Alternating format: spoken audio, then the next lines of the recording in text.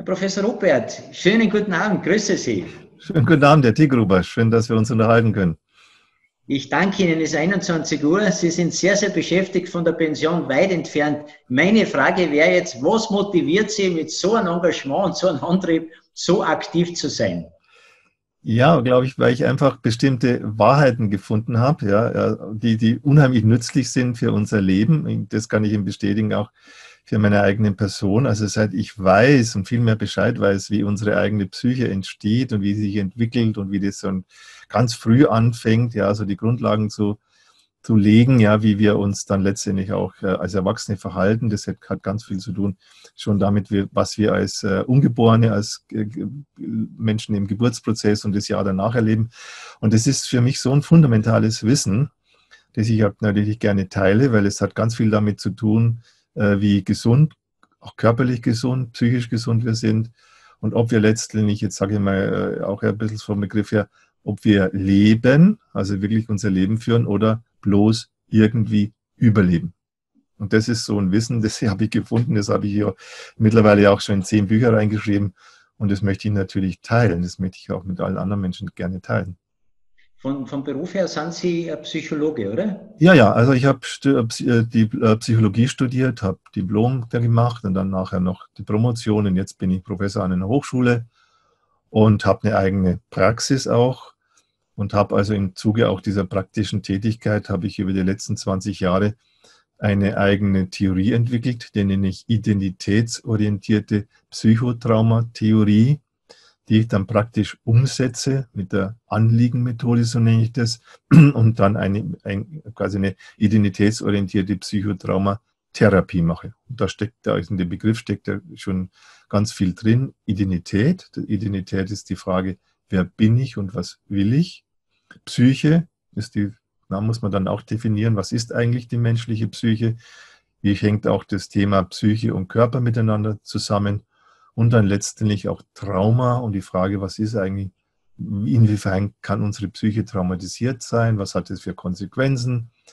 Und ja, und wie kann man das dann wieder heilen? Also wie kann man das Menschen dazu verhelfen, dass sie aus ihrer inneren Spaltung, was ja ein Psychotrauma bewirkt, herausfinden, was sie dann auch teilweise blind macht für die Realität, in der sie sind, dass sie wieder sehen können, wie es wirklich ist und es auch akzeptieren können, auch wenn es manchmal nicht ganz angenehm ist das zu erkennen, wie es die Realität wirklich ist. Aber das ist immer die Grundlage, äh, sich dann zu befreien, sich auch von alten Ängsten und Mustern zu, äh, zu befreien, wo man auch äh, so in, in früheren Ängsten drinsteckt und diese früheren Ängste auf das Heute überträgt. Und wenn man da das klärt, dann hat man einfach viel freieres Leben. Ich kann das jetzt zum Beispiel auch bestätigen, habe neulich mal für mich selber eine therapeutische Arbeit nochmal gemacht im Zusammenhang mit diesem Thema, ne, mit diesem Virus-Thema, dem Corona-Thema. Was ist das eigentlich? Was bedeutet es für mich? Und dann habe ich das auch äh, entdeckt in mir, dass da auch noch so äh, Todesängste waren aus dem ersten Lebensjahr, wo ich fast äh, verhungert wäre. Und ja, und seit mir geht es mir viel leichter. Ich atme zum Beispiel auch schon, äh, habe das sofort gleich gemerkt nach dieser Arbeit. Mein Atem ist leichter, es ist wie wenn so ein Druck von der Brust weg ist und so. Also das sind so Erfahrungen, die ich mache, die ich äh, selber mache und die auch andere Menschen die mit mir arbeiten, machen. Und von daher will ich dieses Wissen natürlich gerne teilen. Jetzt wäre es in der Situation ja so, dass wir eine ganz schnelle Veränderung haben, raus aus der Komfortzone. Die Welt ändert sich und natürlich äh, sind damit Chancen auch verbunden, die jetzt natürlich oft einmal noch nicht sichtbar sind. Aber was für uns die Spannende wäre, und das ist eben äh, der Wunsch eben gewesen, äh, Sie als Experte, was passiert in der Psyche, was macht die Situation, was wäre so eine konstruktive Handlung, ohne jetzt in die Tiefe zu gehen, aber was sollten die Leute tun, dass sie da möglichst in eine konstruktive Haltung kommen in der jetzigen Situation? Ja, da gibt es ganz, ganz viele Sachen, die, die man jetzt machen kann. Zum einen kann man sich immer fragen, was löst es jetzt aus? Ja, also diese dass man sagt, da gibt es jetzt ein Virus, und der wird noch als Feind definiert, komischerweise, ja, sagen, ja, was löst es jetzt in mir aus? Ja, und was, was bedeutet das jetzt für mich? Habe ich jetzt da Angst oder habe ich da jetzt Mitleid mit Menschen, die tot sind oder habe ich jetzt plötzlich Vorstellung von Leichenbergen und was macht das alles mit mir? Also das kann man sich zuerst mal fragen, warum ist es so, dass ich mir dazu jetzt bestimmte Vorstellungen mache oder bestimmte Gefühle hochkommen? Das kann man Das ist der eine Punkt, äh, das zu klären. Zum anderen kann man die Situation auch nehmen, mal sich mal zu überlegen, was ist das eigentlich alles, so ein Virus? Und habe ich denn jemals mal was davon schon gehört und gelesen und sich da schlauer machen? Was gibt es denn für, für verschiedene Viren und, und Virentypen und so? Und was ist der Unterschied zu Bakterien? Und dann, was ich immer auch empfehle, jetzt im Moment viel zu lesen über unser Immunsystem, also sich mal schlau zu machen, was ist denn das, äh, was wir da in uns haben, dieses sehr, sehr komplexe, sehr, sehr intelligente, hocheffiziente Immunsystem, da mal was drüber zu lesen und Bücher zu lesen. Man kann sich auch jetzt über das Impfen generell mal über, äh, sich mal äh, Gedanken machen, was ist es eigentlich, eine Impfung und wirkt die oder wirkt die nicht, kann die Nebenwirkungen haben. Also kann man sich auch ganz viele, äh, viel sozusagen bilden und aufklären und so. Und was ich jetzt vor allen Dingen auch mache, ich äh, führe Dialoge, ich führe Gespräche und gerade auch Menschen, die jetzt vielleicht anderer Meinung sind wie ich, weil ich habe ja auch so meine bestimmte Meinung jetzt im Moment, dass ich die dann anrufe und sage, na, was hast du eigentlich für eine Erfahrung gemacht und was ist dein Wissensstand, dein Kenntnisstand? Was hast du für eine Spezialqualifikation jetzt zu diesem Thema? Kannst du mir weiterhelfen? Da, da rufe ich dann zum Beispiel Ärzte an oder sag mal, wie, wie sieht es in der Praxis jetzt bei dir aus und so? Oder Krankenschwestern, ja, wie ist es bei euch in der Klinik? Wie schaut es aus? Also man kann sich, also ich finde es immer ganz wichtig, dass man sich selbst informiert, ja, also dass man sich nicht nur sozusagen das äh, reinzieht, was jetzt gerade in den Medien da, in den Zeitungen oder auch in den, in Fernsehen und Nachrichten gebracht wird, sondern sich selbst ein Bild von der Welt macht und selbst möglich mal schaut, auch seine Quellen mal äh, überprüft, was sind die verschiedenen Quellen und dann halt auch mit den Menschen reden, die jetzt gerade Erfahrungen machen. Und jeder hat da so eine bestimmte ja, Kenntnis und auch eine bestimmte Weisheit zu dem Thema. Und das finde ich auch wichtig, dass man da in Dialog tritt und nicht jetzt da in so eine Freund-Feind-Schema schon wieder verfällt und sagt, ja, du bist mein Gegner du bist mein Freund, sondern jetzt mal jeden Menschen eigentlich als, als gewisserweise auch, jeder, jeder hat eine Qualifikation, äh, wo er jetzt irgendwas beitragen kann zu einer aktuellen Diskussion. Wir wissen ja sehr viel über die Welt und außerhalb unseres Planeten, aber wir stellen halt schon fest und wir sind ja sehr leidenhaft als Verbinder unterwegs mit Experten, um Energien zu bündeln, desto näher das kommt zu mir, desto weniger weiß ich Bescheid. Und ich selbst kenne mich oft einmal am wenigsten. Äh, was wäre da jetzt ein Zugang? Also ein innerer Dialog, stille Ruhe ist für viele eine Herausforderung. Und das wäre ja jetzt möglich, neue Türen aufzumachen und mich intensiver kennenzulernen. Ja, also ich stelle fest, auch in der Hochschule, wenn ich jetzt meine Studenten frage, sagt mir doch mal, was denkt ihr denn? Was ist die menschliche Psyche? Dann kommt erstmal Schweigen, ah, das hat was mit Gefühlen zu tun, das hat was mit Bewusstsein zu tun, ah, das ist die Seele, das ist das Selbst. Also man merkt so, die meisten Menschen haben überhaupt nur ganz rudimentäre Vorstellungen von ihrer Innenwelt. Auch wie die sich entwickelt, ab wann sich das eigentlich entwickelt, unsere Psyche und so. Also das finde ich ganz spannend und einer meiner äh, Ziele auch, ja, auch aus, aus, aus, aus meiner Aufklärungsziele ist, die Menschen mehr bewusst zu machen, was diese Innenwelt ist, auch Begrifflichkeiten dafür zu haben, damit man da nicht so herumstottert, sage ich mal, was ist eigentlich deine Psyche? Und da habe ich ja in meinen Büchern äh, einiges da immer reingeschrieben, wo ich denke, wenn man sich das mal auch äh, anschaut und mal durchliest und mal sagt, okay, aha, so kann man auch das Innenleben auch beschreiben und dass sich jeder mal so vielleicht auch seine eigenen Gedanken macht, äh, wie er das jetzt gerade im Moment macht und wie, wie zufrieden man da auch mit ist. Ne? Man stellt ja oft fest, dass manche Menschen immer noch in der Abwehr leben.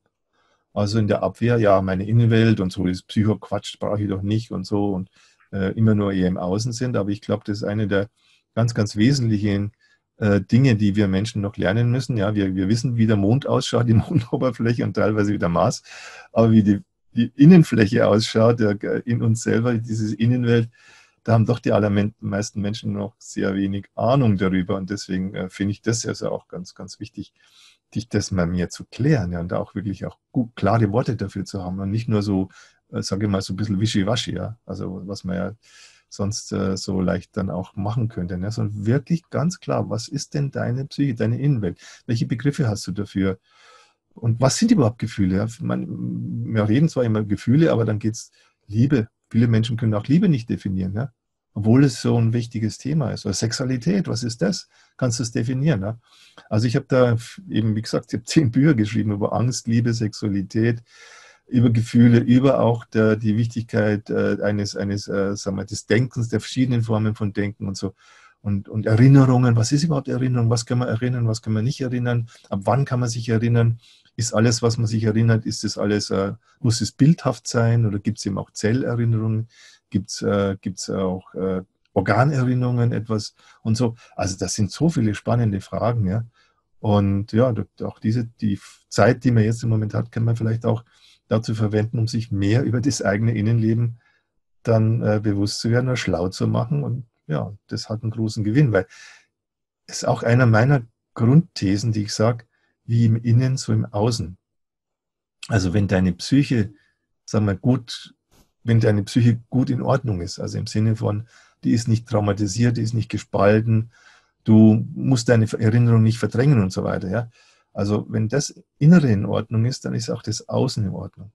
Und wenn du in dir selber ein Chaos hast, ein Chaos von Gefühlen und von Gedanken und von Erinnerungen und so, dann kann man sich sicher sein, dass man auch dieses Chaos ins Außen hinein verbreitet. Ja? Dass man sein inneres Chaos, seine unbewältigten Ängste, seine Liebesillusionen, seine Schamgefühle, was auch immer, dass man die nach außen bringt und dann auf andere Menschen projiziert, was ja im familiären Kontext natürlich sehr leicht stattfindet. Also Eltern, die in einem inneren Chaos leben, die ziehen Kinder unweigerlich in ihr Chaos hinein und, und übertragen dann quasi ihr, ihr, Chaos auf die Kinder, beziehungsweise die Kinder, weil sie ja mit ihren Eltern in einer Verbindung stehen wollen, die saugen dann aus dem Chaos der Eltern sozusagen sich selber wieder mit voll.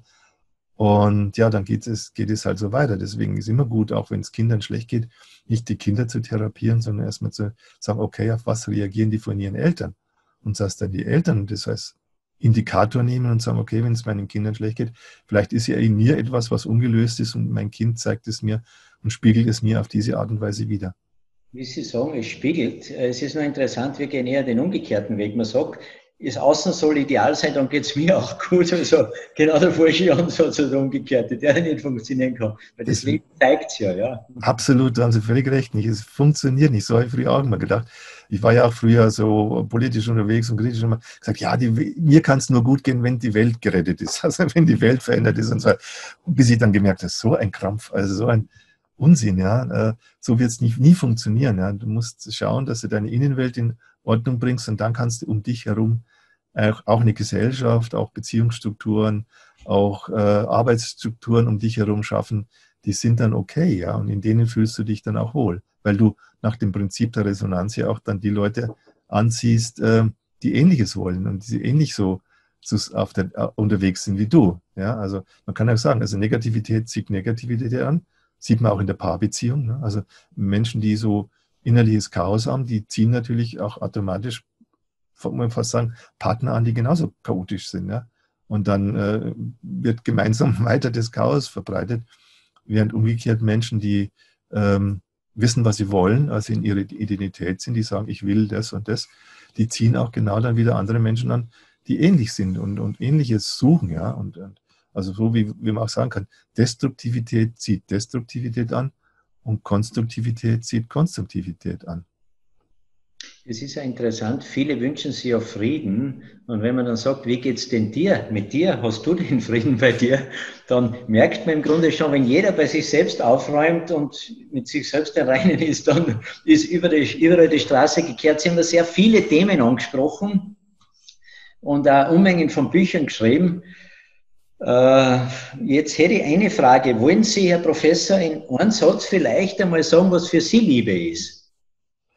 Ja, Liebe ist zweierlei. Liebe ist meine Fähigkeit, dass ich lieben kann, dass ich in ein liebes, liebevolles Verhältnis, ein wohlwollendes, positives, warmes Verhältnis äh, zu einer anderen Person treten kann, aber ich kann genau zu diesem Tier in, in, in so eine, oder auch eine Pflanze. Ich habe zum Beispiel heute habe ich, habe ich so einen kleinen Kiefer, so einen Latschenkiefer umgepflanzt, ja, von so einer ganzen dunklen Ecke wo, bei unserem Haus habe ich sie wohin schön, woanders hinschön. Und dann habe ich, habe mich, habe ich mich gefreut, ja. Ich habe gedacht, jetzt tue ich was Gutes für diese Pflanze, die immer so vor sich hin kümmert, ja, und habe sie noch gestreichelt, ja. Also ich kann auch äh, quasi zu allem kann ich so ein liebesvolles Verhältnis haben. Also ich habe ein Liebespotenzial und umgekehrt habe ich ein Liebesbedürfnis. Ja? Ich will auch von anderen eben auch entsprechend behandelt werden, liebevoll angeguckt werden, liebevoll in den Arm genommen werden. Und äh, ja, dass die andere auch liebevoll sozusagen das begleiten, was ich mache und so. Also das ist für mich Liebe. Liebe hat, ist eine Fähigkeit von jedem von uns. und Liebe ist ein Bedürfnis, das wir haben. Und, und das Wort Liebe, wäre das Zuwendung, wäre das äh, freudvoll oder was wäre das Wort Liebe? Was ist Liebe überhaupt? Naja, das, das, das, die Liebe, ne, das ist ja eine, das ist ein Substantiv, ja, von dem, was ich vorher gesagt lieben können und lieb, geliebt werden wollen, ja. Und Liebe, das geht ja los mit der Mutter-Kind-Beziehung. Das heißt, in der Mutter-Kind-Beziehung ist die Frage, liebt eine Mutter ihr Kind? Das heißt, möchte dieses Kind überhaupt haben? Will, dass dieses Kind da ist? Ist sie in der Lage, diesem Kind Zärtlichkeit zu geben, diesem Kind Aufmerksamkeit zu schenken, diesem Kind zum Beispiel auch ihre Brust zu geben und nicht zu sagen, ah, das Kind sagt mich aus, ne, sondern ganz gerne das zu tun, ähm, auf die Bedürfnisse des Kindes einzugehen, sowohl die symbiotischen Bedürfnisse des Kindes nach Blickkontakt, nach Hautkontakt, nach, ähm, nach äh, Körperkontakt äh, zu befriedigen, als auch die Autonomiebedürfnisse des Kindes dann zu erkennen, wann will das Kind in Ruhe gelassen werden, wann will das Kind alleine Dinge machen und wann will das Kind sozusagen auch ja, sich selber mal ausprobieren und so. Also das ist das, was eine liebevolle Mutter ein Kind geben kann. Ähm, ich sage es in der Therapie, erkennt man das ja auch immer so, äh, dass das, das, das, das Kind wird durch die Mutter gespiegelt, emotional gespiegelt. Ja? Und das ist das, worunter die meisten Menschen, mit denen ich therapeutisch arbeite, die leiden darunter, dass sie eine Mutter haben, die nicht in der Lage ist, diese emotionale Spiegelung, also die auch nicht in der Lage ist, kann man so sagen, sich vom Kind lieben zu lassen. Ja? Die das Kind vielleicht äh, versorgt, ja, aber nicht in den emotionalen Kontakt gehen kann, weil sie eben eigene Traumaerfahrungen gemacht haben, weil so viel Schmerz in ihr noch unerlöst ist und deswegen kann sie das gar nicht äh, in, in den Kontakt, diesen emotionalen Kontakt mit dem Kind gehen oder sie will das Kind auch nicht, lehnt es eigentlich immer ein Stück weit ab und dann ver verweigert sich dem, dem Kind auch diese emotionale Spiegelung. Und das, wenn die Mutter macht, dann ist es sowas von, von toll für das Kind, ja, wenn es sich von seiner Mutter emotional gespiegelt fühlt, wenn es, wenn es merkt, aha, meine Mutter die äh, erkennt meine Gefühlslage, die erkennt, wenn ich Angst habe, die erkennt, wann ich kann ich auch damit umgehen, wenn ich wütend bin, die beschämt mich nicht äh, und so weiter. Also das sind so, so, so das, was, was wo Liebe dann äh, beginnt ja, in unserer Entwicklung. Und äh, dann geht es eben weiter. Entweder du hast hier am Anfang diese guten Erfahrungen mit der Liebe gemacht und dann überträgst du das auch dann, überträgst du das auf deine Spielkameraden, später dann auf die Partner und dann wieder, wenn man Eltern ist, wieder auf die Kinder. Und wenn das in dieser Anfangszeit, wenn du da gescheitert bist, ja, mit dem Thema Liebe, dann scheiterst du in der Regel auch an allen anderen Beziehungen, intimen, nahen Beziehungen in puncto Liebe. Und dann hast du immer das Problem, dass du eigentlich äh, Liebe an der falschen Stelle auch erwartest, dass du teilweise kindliche Liebesbedürfnisse auch in deine Partnerschaft einbringst, kindliche Liebe, Liebesbedürfnisse auch in deine Elternschaft einbringst, damit dein Partner überforderst, damit deine Kinder überforderst, ja. Also es ist ganz, also Liebe kann man ganz genau definieren. Das ist überhaupt kein, es ist überhaupt kein, kein Rätsel für mich mehr. Sie sprechen immer von der jüngsten Kindheit, der Geburt. Wir haben eine ganz interessante Hebamme bei uns im Team als Botschafterin Erika Bichler, auch ein sehr eindrückliches Interview äh, gegeben dazu, wie wichtig und prägend diese Erstphase ist. Hat Liebe auch mit Vertrauen zu tun? Na, absolut, natürlich. Weil wenn, wenn du jetzt deiner Mutter nicht vertrauen, wenn du deiner Mutter vertrauen kannst, das ist sowas Fundamentales, dann hast du sowas wie ein Urvertrauen. Und dieses Urvertrauen, mit dem Urvertrauen gehst du dann in, in, in andere Beziehungen auch hinein. Wenn es aber umgekehrt ist, du kannst deiner Mutter nicht trauen, weil die dich ablehnt und weil du dir zu laut bist und zu viel bist und weil sie dich äh, anders haben will, als du bist. Das zum Beispiel, da gibt es ja manchmal die Situation, da ist, da kriegt eine Frau ein Kind und es ist dann ein Junge, aber soll ein Mädchen sein oder es ist ein Mädchen, soll ein Junge sein. Und dann, dann kannst du es ja nie richtig machen. Das kannst du ja nie irgendwie erfüllen im Grunde. Ne? Also wenn du da schon so eine, sagen wir, eine, eine, eine Erfahrung machst, du kannst deiner Mutter nicht trauen. Oder ist ja auch so, manche traumatisierten Mütter sind ja, manchmal sind sie nett, ja. Und ganz, ganz, ja, freundlich und so. Und dann kann irgendwas sein, was sie triggert, dann kommen sie in ihre Traumagefühle, dann schalten sie um in ganz extreme Überlebensstrategien, sind unzugänglich, sind kalt, sind abweisend, sind wütend, was auch immer. Und du als Kind stehst dann da, was habe ich jetzt falsch gemacht? Was ist, liegt es an mir und so, ja. Also so, dass du dann auch äh, völlig äh, unklar, unsicher bist, kann ich jetzt ja trauen oder kann ich nicht trauen und so. Also das sind alles aus der Therapie heraus natürlich äh, Erfahrungen, die ich da gemacht habe. Und wenn also dieses Urvertrauen in, gerade in der ersten Beziehung, Bindungsbeziehung, also gerade zur Mutter nicht gelingt, dann hast du äh, dein Leben lang Schwierigkeiten mit dem Thema Vertrauen auch. Wobei die Mutter, oder sage ich mal, oder unterstelle den Müttern, dass sie immer das Beste tun. Das dürfte einfach ein, ein tiefliegender, automatisierter Reflex sein, der da auch, der da auch dann rauskommt, wenn es eben so emotionale Unterschiede gibt und, und, und, und Abwehrhaltung und andere Vorstellungen. Jetzt weiß ich nicht, ob die Mütter automatisch das Beste, glaube ich nicht. Also ja, gibt das, ja man, dass das gar nicht so bewusst äh, äh, gewollt ist von den Müttern, sondern dass das einfach ganz tiefliegende Muster sind, die da einfach ausgelöst und triggert werden, oder? Naja, es gibt ja manche Frauen, die werden schwanger von einem Mann, den sie nicht lieben, oder sie werden äh, auch, auch geschwängert in Kriegszeiten oder sonst was, oder, äh, oder wollten zu dem Zeitpunkt gar nicht. Also ich meine, das ist schon ganz klar, dass manche Mütter, die wollen einfach das Kind nicht haben, das sie haben, ja ich habe so viele Menschen auch in meiner Therapie, die haben Abtreibungsversuche überlebt, ja. Und wo es ganz klar ist, dass die Mutter einfach nie Ja gesagt hat zu dem Kind. Ja? Also da muss man jetzt nicht so einen Mutteridealismus haben, jede Mutter liebt ihr Kind und jede Mutter macht das Beste, sondern ganz realistisch, wie ist bei meiner Mutter und dieser äh, Frau XY im Verhältnis zu ihrem Kind, ganz realistisch hinschauen, wie ist das Kind entstanden und wie ist die Haltung der Mutter zu diesem Kind. Also nicht jetzt so einen Mutteridealismus aufbauen, sondern ganz real, realistisch bleiben, die verschiedenen äh, Fälle, die es da halt so gibt. Und es gibt manche Mütter, die tatsächlich die kenne ich ja auch, die haben sich äh, wirklich gesagt, ja, und sie wollen Kinder oder sie freuen sich drauf und Wunschkinder, aber aufgrund ihrer Traumatisierungen sind sie einfach nicht in der Lage. Ja, die hätten äh, vorher entweder dann ihre Traumatisierungen erst noch bewältigen, bearbeiten müssen oder zumindest dann in der Zeit, wo die Kinder da sind, dann daran arbeiten, dass sie aus ihren Traumamustern herauskommen, damit sie überhaupt eine Chance haben, in einen wirklich guten Kontakt mit dem Kind zu kommen, auch und selbst wenn sie dann das Beste wollen, also ich kenne jetzt viele Mütter, so auch moderne Mütter, die dann sagen, ja, wir wollen die Kinder nicht mehr ziehen, wir wollen Beziehung zum Kind haben und so. Und das funktioniert hinten und vorne nicht. Die Kinder sind krank, die haben äh, körperliche Erkrankungen und so weiter, weil eben die Kinder auf das Emotionale reagieren. Und dann arbeite ich mit solchen Müttern, dann stellt sich zum Beispiel heraus, die haben ihren zum Beispiel ihr sexuelles Trauma noch nicht aufgearbeitet. Ja? Die sind immer noch am Verleugnen eines sexuellen Traumas, das sie in ihrer Kindheit erlebt haben. Und deswegen können sie auch körperlich, emotional für das Kind gar nicht da sein. Und die Kinder spüren das aber, ja. Und ja, so muss man halt in jedem Einzelfall, muss man da hinschauen. Und ich äh, bin immer so eher äh, skeptisch über so, so ganz allgemein, so ganz allgemeine Prinzipien. Da muss man im Einzelfall muss man schon hinschauen. Mhm, verstehe. Äh aber so ein traumatisiertes Kind oder unerwünschtes Kind, wenn sie das löst, das Trauma kann schon ein gelingendes Leben dann führen oder, oder ist das Urvertrauen, fällt das dann immer ein Leben lang? Na Gottes Willen, sonst wäre ich ja nicht Therapeut und würde jetzt ja auch gar nicht äh, so in die Öffentlichkeit gehen und ich sage, ich habe von Malz verloren. Wenn du am Anfang sozusagen nicht gewollt bist und traumatisiert bist, dann ist dein Leben zu Ende. Nein, nein, nein, genau deswegen äh, sage ich ja, mach mir ja Therapie damit wir also herankommen, was sind denn die wirklichen Ursachen, warum es einem Menschen schlecht geht, warum er jetzt körperliche, psychische Probleme hat, Beziehungsprobleme hat, auch vielleicht in seinem Arbeitsleben Probleme hat und so.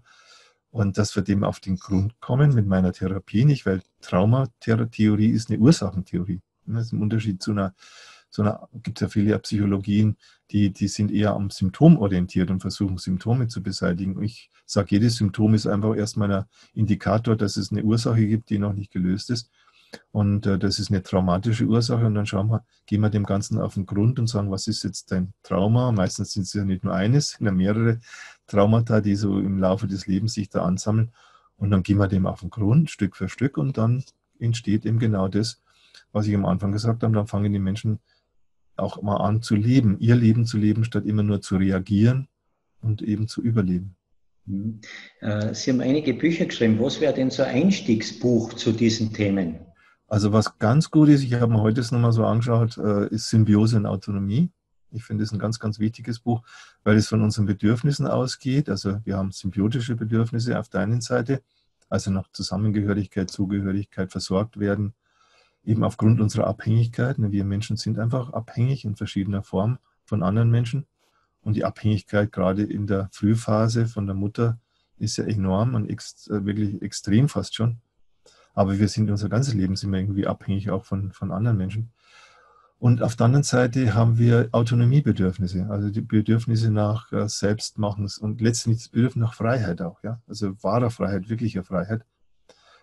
Und ja, und dieses Buch, in diesem Buch habe ich diese beiden Themen so ausgearbeitet, nach beiden Seiten hin, symbiotische Bedürfnisse, Autonomiebedürfnisse, was ist da konstruktiv und was läuft in eine destruktive Richtung. Das ist so ein Buch. Dann habe ich Trauma, Angst und Liebe geschrieben, wo ich auch die, ähm, die Psyche, die menschliche Psyche mal so zum ersten Mal so definiert habe, so wie ich sie heute damit arbeite. Dann habe ich äh, Mein Körper, mein Trauma, mein Ich geschrieben. Da geht es also vor allen Dingen äh, darum, dass man aus körperlichen Symptomen, über körperliche Symptome, ja, also bis hin auch schon zu schweren Krankheiten, wenn man da auf die Ursachen kommt, dann auch wirklich Heilungserfolge erzielen kann. Also ein Buch, das habe ich geschrieben zusammen mit 25 Kolleginnen und Kollegen. Dann habe ich ein Buch geschrieben über frühes Trauma, also wo genau diese vorgeburtliche Zeit, die Geburtsprozesse, die Zeit, erste Lebensjahr, um da das zu beleuchten, was kann da alles passieren. Und dann habe ich jetzt das Buch geschrieben, Wer bin ich in der traumatisierten Gesellschaft? wo man auch erkennen kann, na, dass wie, wie viele in unserer Gesellschaft traumatisiert wird, wodurch auch Trauma in der Gesellschaft hergestellt wird, auch heute noch. Und wie dadurch Täter-Opfer-Dynamiken entstehen, in denen wir uns dann aufreiben können. Und das letzte Buch, das ich jetzt geschrieben habe, heißt Liebe, Lust und Trauma, wo ich das Thema äh, Sexualität, was ist Sexualität, was ist menschliche Sexualität in den Mittelpunkt gestellt habe und da auch eben dann aufzeige, wie kommt es denn zu sowas, dass eben Menschen auch sexuell traumatisiert werden, dass Kinder in Familien sexuell traumatisiert werden. Also das ist da der, der letzte Stand der Dinge. Das, das fordert, da merkt man, wie tief Sie im Thema sind und wie lange Sie schon wirken. Wenn ich jetzt abschließend eine Frage stellen darf, um einmal, noch einmal zurückzukommen. Wir nennen ja die Serie, wofür ist es jetzt Zeit, eben gerade in dieser schnellen Veränderung. Wie würden Sie es abschließend äh, die Frage beantworten, wofür ist es jetzt Zeit? Zu sich zu kommen dass ich zu mir komme, damit ich für meine Mitwelt ein angenehmer Zeitgenosse bin. Schön. Herr Professor, vielen, vielen Dank für das Gespräch. Ihnen alles Gute und danke für Ihr großes Engagement. Danke, Herr Dickover. Schön. War ein angenehmes Gespräch mit Ihnen. Danke. Wiederhören. Alles Gute.